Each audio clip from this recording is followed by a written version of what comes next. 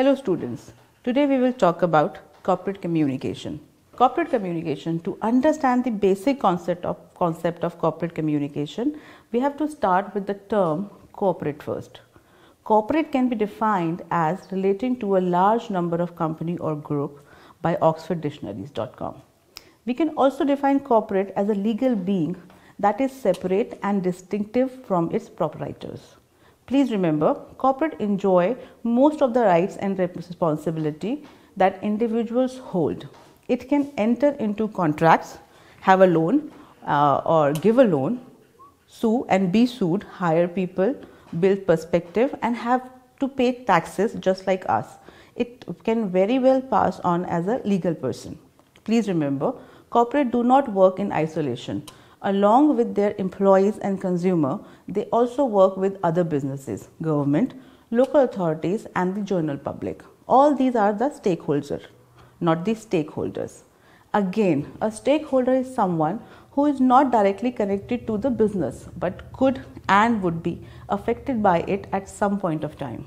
In simple words, a corporate is an organization with certain legal binding entirely different from its owner or owners. Corporations are maintained by the stakeholders, investor on profit sharing basis created through the firm's action. A corporate has to have a lawful presence. It can purchase, trade, acquire, make a contact, sue someone or can be sued by someone or a business just like any individual. It can make either profit or loss and any offense will be punishable under the law. The second term is communication. As per Oxford Dictionary, English Dictionary, to have a good relationship because you are able to understand and talk about your own and other people's thought, feeling, etc. To share or to exchange information, news, ideas, feeling, etc. As this definition state that communication is more than simply the transmission of information the term requires an element of success in transmitting or imparting a message, whether information, idea, or emotion. Business Dictionary describes communication as a two-way process. It involves participant reaching a mutual understanding beyond merely encoding and decoding information, news, ideas, and feelings. It is important that they also create and share the meaning content in the message passed. So, now we understand the term corporate and communication. So let's bring these two terms together and talk about corporate communication. In the simplest way, we can say that corporate communication is all about how an organization communicate with its internal and external public or all the business related communication done by a corporate comes under the umbrella of corporate communication. Here the word public may include customers, potential customers, workers, employees, human resource, government bodies, media, third party regulators and uh, general public okay? And much more. Corporate communication is a set of strategies concerned with planning and coordinating all internal and external communication intended at generating a positive image among various stakeholders the corporate objective is to communicate internal identical messages to all the stakeholders to achieve coherence, reliability and transparency. Corporate communication assists corporates to give information about its mission, vision and value to present a trustworthy image for everyone involved. Corporate communication can utilize any form or forms of communication depending on media habit and availability of media as per the audiences. Typically, uh, corporate communication strategies is consist of written words like internal and external reports, advertisement, website copy, online content, promotional material, emails, memos and press releases. Spoken words like meeting, press conferences, interviews, and non-spoken uh, non-spoken communication like photograph illustration infographics journal branding etc now uh, the core function of the corporate communication department is to develop corporate communication strategy This helps corporate to translate the brand identity for both internal and external public. This demands a flawless communication network between various departments. Sometimes the marketing and the PR department work so close that the line between these two often get blurred. Remember, this as this involves communication and communication strategies keep evolving like a living being. The organization as the organization grows and evolves, the corporate communication strategy will also grow and adapt. It is a symbiotic relationship where a change in one directly influences the other. Uh, before we go any further, let me tell you a, uh, very uh, briefly a difference between PR and corporate communication. These two terms are often used as interchangeable terms sometimes. However, they do act uh, similar, but there little uh, difference between these two terms. So, uh, by and large, when we talk about PR, it deals with the public outside the organization, communicating with media, reporters, journalists, pitching ideas for coverage, handling social media, digital content, and everything.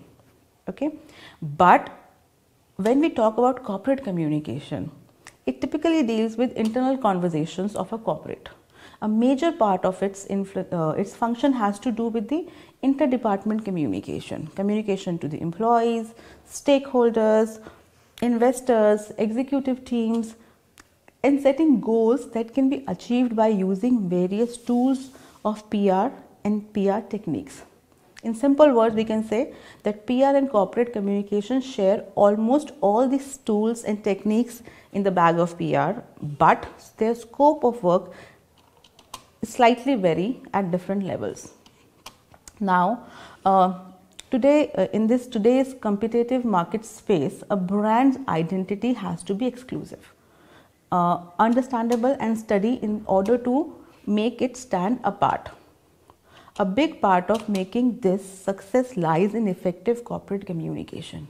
It is fundamental in creating, in, enhancing, and upload, uh, upholding the corporate identity or brand image.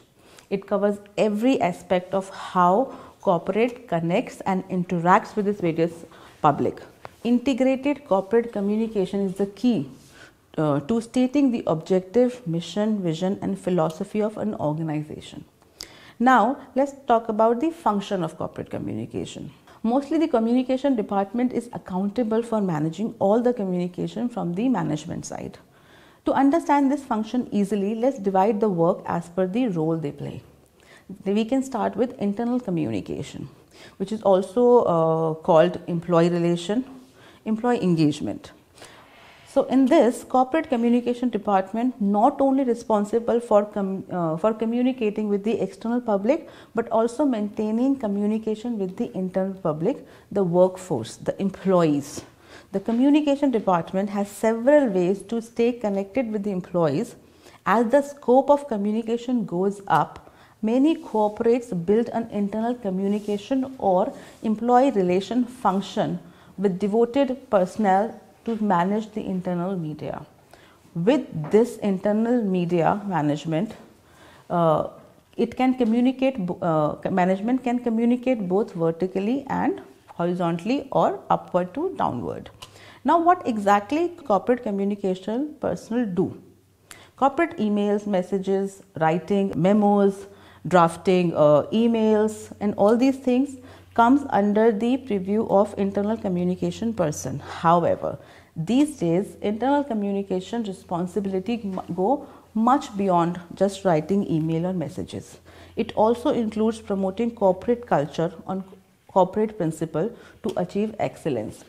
Now, uh, they also responsible for internal publication like creating printed material such as employee handbooks or flyers, reports, house journal, annual reports, induction material, anything which is can be used to communicate with the internal public is created by this department. Now, they also manage the internet internal blogs, newsletter and other publications they sometimes they also involved in compiling employee resources these are resources are used uh, uh, by for the employee benefit please remember that internal communication often work hand in hand with the human resource department. Internal uh, department should take care of efficiency and while working with the HR department, uh, the corporate communication department or the internal communication department has to be very clear while communicating the messages to internal public. Now, this was the uh, one job which corporate communication do. The next one is media and public relation. Now, in this particular vertical of corporate communication, it deals with media and use the media tools to generate the favorable public opinion and an image which is a positive image of the corporate. Following tools or techniques are used to get news coverage. The first one is a press conference or a press con or a media brief. The next is interview of the spokesperson, creating printed material, banners, flyers for media events and creating press kits, creating press note or a press release, distributing it to the target audience or the target media. Media monitoring is also an important part of media and PR.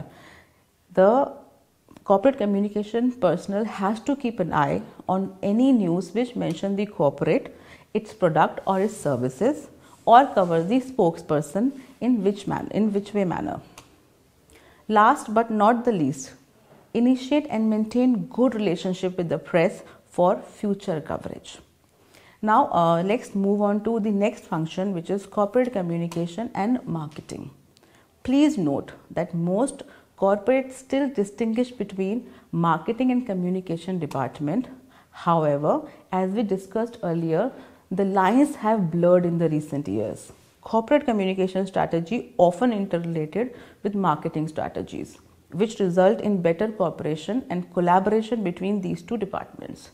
We can say that it is um, now common practice for the communication department to work closely with the marketing department for creating various marketing or sales material or general communication, uh, general uh, consumer communication that might include emails related to marketing, brochures, booklets, uh, newsletter, website content, sales pitch, or uh, the very recent addition is the digital media strategy, where social media content like blogs, feeds for various social media platforms are created within uh, collaboration with, uh, with marketing department.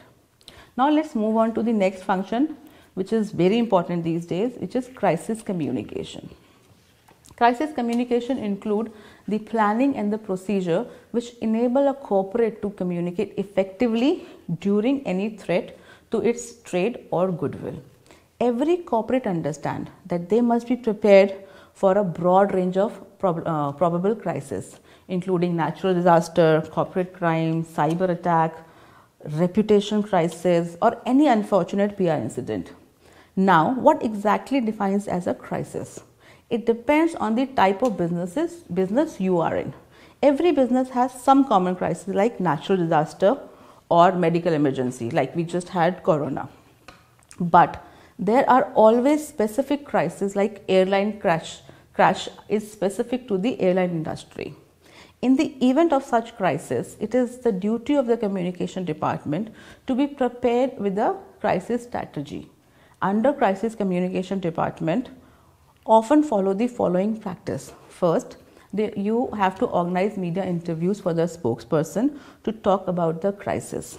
It will keep you one step ahead of the crisis. Next is always guide the spokesperson or train the spokesperson that how to handle media, what to share and what not to share at given point. Communicating with other involved stakeholders like government, media, emergency services, general public and as and when necessary. Try to minimize the damage or do damage control before it get worse. Before we further uh, go further, let me share a very little, a very interesting case study with you. Deepwater Horizon oil spill communication failure. This will help you to understand how the communication by a corporation in crisis have a long-term effect on the brand image of the organization. Let me give you a little background of the whole spill disaster. On 20th of April 2010, an explosion of the BP Deepwater Horizon oil rig, which, situated, which is situate, situated in the Gulf of Mexico. An estimate of 4.2 million barrel of oil spilled into the Gulf of Mexico, causing the biggest oil spill in the, in the US, USA history. This incident caused extensive reputation and monetary losses to the BP. Let's watch this small video to give you a better understanding of what happened.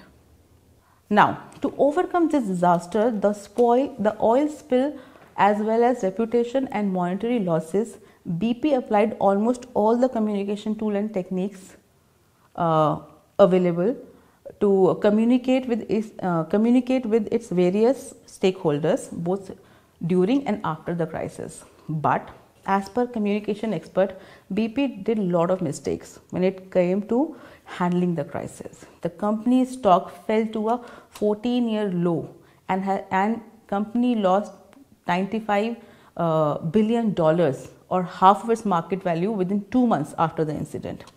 Now, what was the mistake BP did? After the Deepwater Horizon rig sunk, rig sunk BP uh, appeared eager to jump in front of the crisis. However, they failed to step up.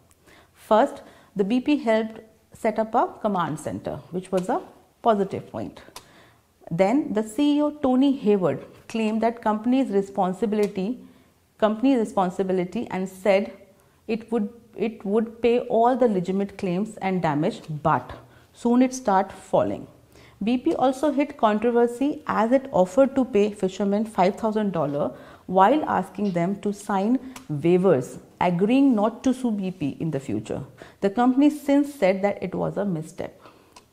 Now, another thing which they did wrong was shifting blame. BP stated that it was not their disaster. They blamed their contractors, caused the largest uh, uh, oil spill in the US history and particularly caused considerable reputation and financial loss. Uh, I'm also sharing a, uh, another video with you where the CEO of the company is giving a statement in the public. Please watch it.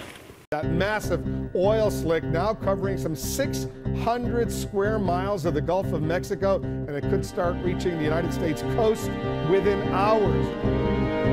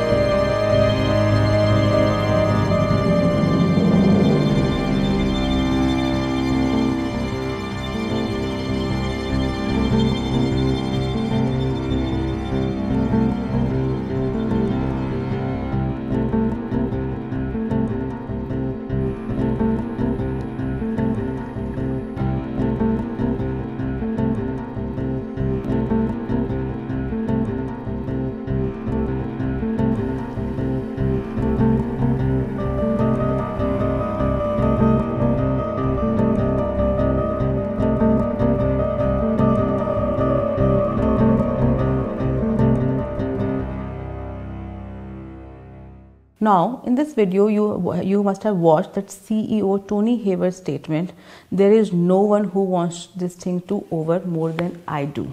You know, I'd like my life back. This statement created such a havoc in the community and uh, people were really angry with this organization and it was a big blow to the whole communication strategy. This put a lot of question mark on the credibility of the whole organization However, the CEO apologized later, but the, uh, but the uh, damage were irreversible.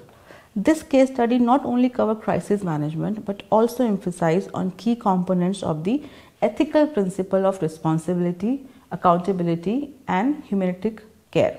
Let's move forward. Other than the above discussed functions, some additional functions also fall under the umbrella of corporate communication directly or indirectly. The first one is CSR, Corporate Social Responsibility. CSR is a system of corporate that ensures the responsibility of business towards society. Uh, this covers the financial, legal and unrestricted uh, expectation that the public has of a corporate. It is a wholesome business concept to have sustainable growth by taking care of all the stakeholders by providing financial, communal and environmental benefits. According to UNIDO, corporate social responsibility is a management concept whereby companies integrate social and environment concern in their business operation and interaction with their stakeholders. CSR is generally understood as being the way through which a company achieves a balance of economic, environment and social imperatives. Next function is corporate identity. Corporate communication is a blanket under which corporate identity and image work in a synchronized manner. Corporate identity and corporate image work as a communication tool to create uniqueness, which helps a company stand out. Corporate identity works with logo, color palette, fonts, etc. Whereas image management is more about public perception. It will also provide a framework for senior management and employee to work together uh, towards a singular goal and objective. Now, corporate communication also take care of corporate image. Now, what is corporate image? Corporate image is how public perceive or think about a corporate and about its product, about its services. It comprehends the perception that the public has about certain corporate. For example, Xiaomi it has an image of a pocket friendly phone unlike the image of Apple which is associated with the with chic and sophisticated and expensive phone. So now uh, creating this image is a planned and ongoing activity which is in line with the organization goal and philosophy. It is a delicate balance between corporate communication and interpretation by the public. One more thing corporate communication indulge is brand image what is brand image? It is what the uh, what the consumer thinks about the brand and what feeling it associated with the brand. It is a sum of consumers overall experience with the brand. It could be good bad average or even neutral. This can be measured or rectified if required with appropriate planning. To understand the understand these terms fully you need to get a clear idea of what is corporate and what is a brand. We have already talked about the corporate in detail. So now let's talk about brand. A brand is an extension of a corporate. In simple, in simple words, we can say these days big corporate work on various products and services and to differentiate between them, corporate creates brand. To understand this completely, let me give you an example. We all know about the corporate uh, with the name Tata and the brand name Tanishq. Tata is the parent, parent company, also the corporate here. Tanishq is the brand name they used for to sell the jewelry business. Both have a different set of logo, color scheme, font and everything. However, the basic value and the basic beliefs remain the same for both. If you watch the latest advertisement of Tanishq, they are talking about how they have modern design and a business modern uh, business model, but it comes with the promise of a hundred year old corporate Tata. With this advertisement, the brand name Tanishq is sharing the stage with its parent company so that it can also enjoy the trust with the public Tata, uh, with the which the public has in Tata. Now, uh, let us revise in brief what all corporate communication do in a, so that we can summarize what we have done till now. It manages websites, various social media platforms, plan and create blogs and other digital media content. It organizes uh, press conferences. It hosts networking event. It write and distribute press release or press note.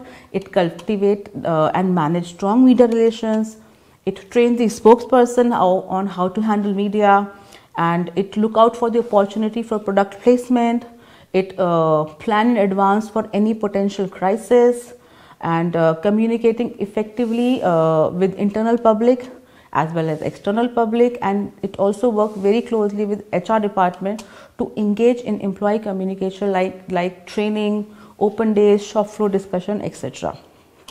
Now this is a great deal of responsibility to fall on the shoulder of one person, especially in larger organization with a national or international reach. The biggest companies will invest in building a team so that uh, it can cover all the function required to ensure the complete brand uniformity and regularity in their corporate communication.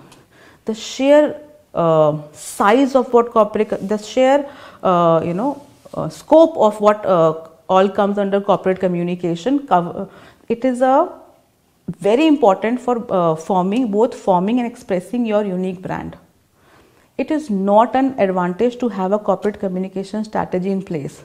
It's a necessity.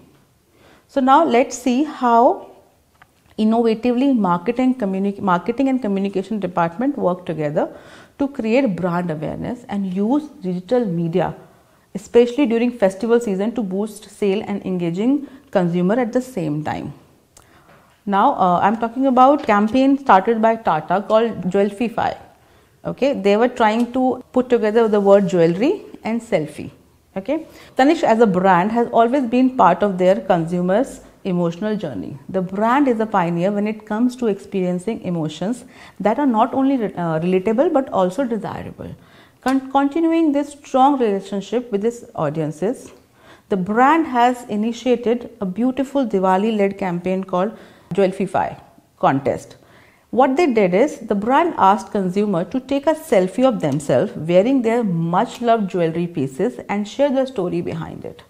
The consumer could post on any of the social media platform like FB, Twitter, Insta with the hashtag like uh, hashtag Jewelfy with and or hashtag Tanishq and it will be a part of the con and they can be part of the conversation uh, around the around their jewelry and emotional stories behind it to attract more and more people to participate, incentive like prizes for the most beautiful and heart-touching stories were announced, as well as the grand prize at the end of the campaign, which was a part of their latest collection, which was introduced around Diwali.